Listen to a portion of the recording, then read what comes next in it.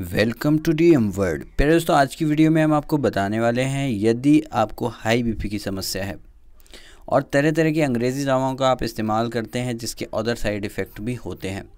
तो दोस्तों, आप अंग्रेज़ी दवाओं का इस्तेमाल करना बिल्कुल बंद कर दें, क्योंकि आपको ऐसा घरेलू नुस्खा आज हम बताने वाले हैं, जिसके इस्तेमाल से आपकी हाई बीपी की समस्या कभी होगी ही नहीं। तो दोस्तों, अगर आप हमारे चैनल पर नए हैं, हम आपके लिए मेहनत करके अच्छी से अच्छी वीडियो लेकर आते रहते हैं तो प्लीज़ वीडियो से नीचे इस तरह का रेड कलर का सब्सक्राइब बटन दिख रहा होगा, इसे ज़रूर दबा दें और पास वाले इस घंटी वाले बटन को दबाना ना भूलें, जिससे आने वाली हर लेटेस्ट वीडियो आप तक पहुँच सकेगी। तो दोस्तों, वीडियो को लाइक नहीं किया तो प्लीज़ दोस्तों वीडियो को लाइक भी ज़रूर कर दें, ताकि जो लोग परेशान हैं वो भी इस वीडियो को देख सकें। दोस्तों, आपको इसमें चाहिए होगा शहद और दूसरी चीज़ मैं आपको बता दूँ ये है नींबू। दोस्तों, नींबू और शहद, ये दो चीज़ें आपको इसमें चाहिए हैं। आप किस तरह से इसका इस्तेमाल करना है, अधिकतर लोगों को नहीं पता होता है। लेकिन दोस्तों, सबसे पहले मैं आपको बताऊँ, अगर आपको हाई बीपी की समस्या रहती है, मीट, मछली, अंडा, ज़्यादा तली हुई चीज़ें, लाल मिर्च, ज़्यादा नमक का सेवन बिल्कुल भी ना करें। इससे आपके बीपी हाई होने का ख़तरा रहता है और ज़्यादा बीपी हाई होने से बहुत सारी दिक्कतें आ सकती हैं। कुछ लोगों का बीपी हाई होने पर देखा जाता है कि आँखों की रोशनी तक चली जाती है। कुछ के सर में नस ब्लास्ट हो जाती है तो ऐसी समस्याएँ जब होती हैं, जब हम बदपरहेज़ी करते हैं, यानी कि परहेज़ नहीं करते। तो कोशिश करें कि आप परहेज़ ज़्यादातर किया करें।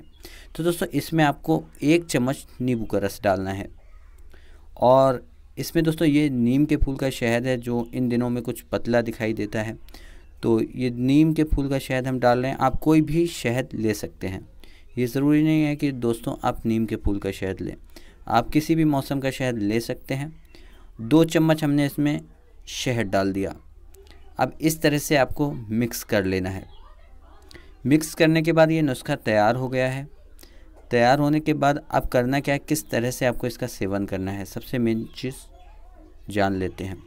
दोस्तों, सबसे पहले मैं आपको बताऊँ सुबह खाली पेट। यानी कि निहार मुँह आपको उठना है और इसका सेवन करना है। यदि कभी भी इमरजेंसी में अचानक से आपका बीपी हाई हो जाता है, तब भी आप इसका इस्तेमाल कर सकते हैं। लेकिन दोस्तों, ये भूखे पेट पर ज़्यादा असर दिखाता है। तो ऐसे में खाली पेट पर ही इसका इस्तेमाल करना बहुत ज़्यादा उचित रहता है। शाम सोते समय भी आप इसका इस्तेमाल कर सकते हैं या फिर सुबह खाली पेट इस्तेमाल करें।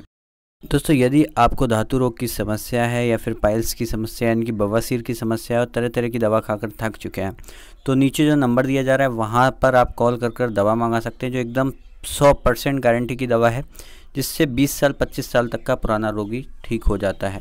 तो प्यारे दोस्तों, आज की वीडियो में बस इतना ही, मिलते हैं फिर एक नई वीडियो के साथ। वीडियो पसंद आए लाइक करें, चैनल पर नए हैं, सब्सक्राइब ज़रूर करें। Thanks for watching.